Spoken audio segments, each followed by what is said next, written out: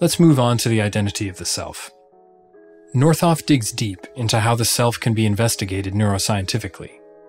He first addresses the philosophical roots of belief and non belief in the self, acknowledging that it has become an accepted modern perspective that the self is an illusion in consciousness.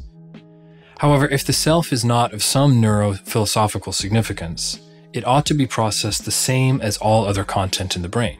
Northoff reminds us that several psychological studies have shown that self related content is more heavily weighted in memory, emotion, and sensory motor response. This is referred to as self reference effect. To test the impact of self reference effect on the brain, Northoff states, and I quote, we can compare self and non self specific stimuli in the scanner and investigate the underlying brain regions that respond. The results of these tests show that the brain areas involved in neural processing of self specific stimuli are areas of the middle of the brain, specifically the perigenual anterior cingulate cortex, the ventromedial prefrontal cortex, the dorsomedial prefrontal cortex, the posterior cingulate cortex, and the precuneus. These are called cortical midline structures. Northoff admits, though, and I quote, how and why the specific physiological features of the cortical midline structures are transformed into mental features remain unclear. End quote. One very interesting finding in Northoff's research is that, and I quote, various investigators have demonstrated neural overlap between self related processing and resting state activity levels, in that the former did not elicit changes in the latter.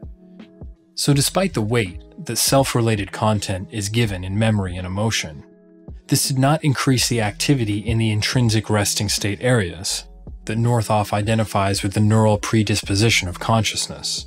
He explains it this way, and I quote You would think that the brain encodes high personal relevance items in commensurately high activity changes so that the self specific stimuli stand out when compared to non self specific ones and to the rest of the brain. That's the way you experience yourself. You stand out in the environment when compared to others. You would consequently expect your brain to do the same, to make the self stand out with high activity changes. That high activity change, though, does not seem to be the case. Rather, the opposite holds true. Yourself, the basic subjectivity of your experience and consciousness, does not seem to stand out at all, rather overlaps with your brain's ongoing resting state activity. End quote. Northoff explains the significance of this to philosophical inquiry.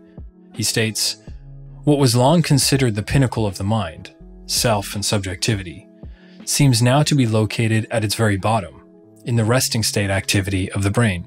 Self or subjectivity is an intrinsic ingredient of the brain itself and its intrinsic activity brain and intrinsic activity are, by default, subjective and cannot avoid constructing some kind of self.